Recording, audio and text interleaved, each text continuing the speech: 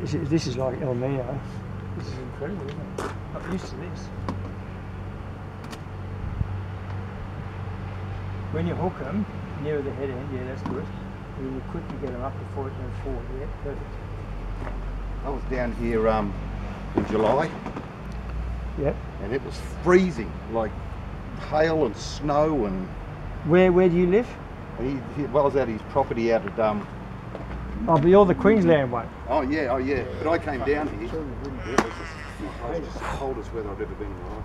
Yeah, well, it was a cold winter. Yeah. And I got the flu too. That was alright.